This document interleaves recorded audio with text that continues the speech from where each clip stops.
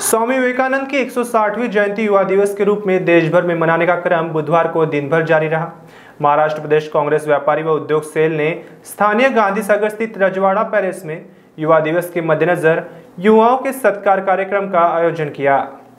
बुधवार को महाराष्ट्र प्रदेश कांग्रेस व्यापारी व उद्योग सेल के अध्यक्ष अतुल कोटेचा द्वारा स्थानीय गांधी सागर स्थित रजवाड़ा पैलेस में युवा दिवस पर आयोजित कार्यक्रम में मेहनत और लगन के बलबूते अपने अपने कार्यक्षेत्र में अपार सफलता हासिल करने वाले युवा उद्यमी सुदर्शन शेंडे, सीए वरुण पारक करण पाटनी और अंकित चोखानी का सत्कार किया गया।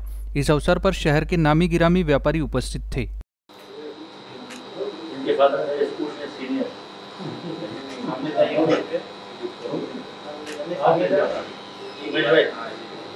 आइए सर के सम्मान के साथ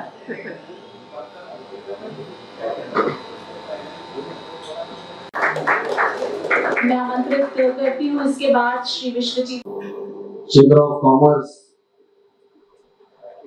और व्यापारियों के लिए हरदम लड़ाई लड़ने वाले कैबिनेट के अध्यक्ष भाई Dipen Agarwal ji Naga chamber of commerce के सेक्रेटरी भाई तरुण निर्वाण जी, मेरे मार्गदर्शक उमेश डांगे जी, संजय पुगलिया जी, और यहाँ पर उपस्थित सभी व्यापारी एसोसिएशन से संबंधित मेरे व्यापारी भाइयों, दोस्तों, पंद्रह दिन पूर्व ही व्यापार व उद्योग जगत के लिए मेरा नॉमिनेशन महाराष्ट्र के आला वजीरा नाना पटोले जी ने किया। मैंने इसके पूर्व कांग्रेस में रहते हुए वार्ड से लेकर महाराष्ट्र की राजनीति की। लेकिन व्यापार और उद्योग जगत मेरे लिए एक नई चुनौती लगे। तो मुझे ऐसा लगा इसकी शुरुआत आज स्वामी विवेकानंद जी जयंती के शुभ अवसर पर करूँ। और मेरा सौभाग्य है कि कम समय में कोविड रहते हुए विकास भवन इसकी शुरुआत हुई। जब इसकी शुरुआत हुई तो मेरी पूरी टीम ने नागपुर शहर के डेढ़ सौ लोगों की एक टीम बनाई।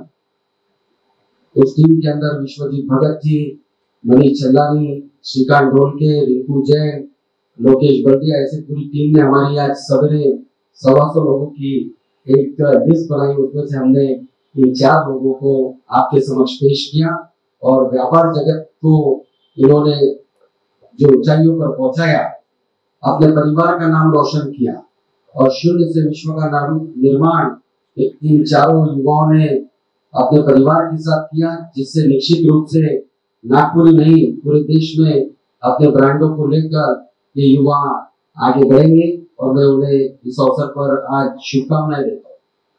दोस्तों हर वक्त मुझे ऐसा लगता है कि नए नए युवाओं ने नई नई चीज़ें खोज कर लाने के लिए अपनी प्रतिभाओं को सामने लाना चाहिए। कोविड के चलते ऐसे अनेक व्यापार इस मंदी की दौर से गुजर रहे हैं। ऐसे अनेक व्यापारी है, क्योंकि व्यापार क्षेत्र से मेरा बहुत पुराना संबंध आता है। मैं देखता हूँ, युवा हताश हो चुका है, युवा सुसाइड कर रहा है। कई धंधे पानी वाले डैश तक नहीं उन लोगों के निकल रहे। इन सबको ध्यान में रखते हुए आज यहाँ प्रोत्साहन बढ़ाने के लिए, युवाओं का प्रोत्साहन बढ़ाने के लिए हमने यहाँ कार्यक्रम रखा। आप यहाँ पर आए।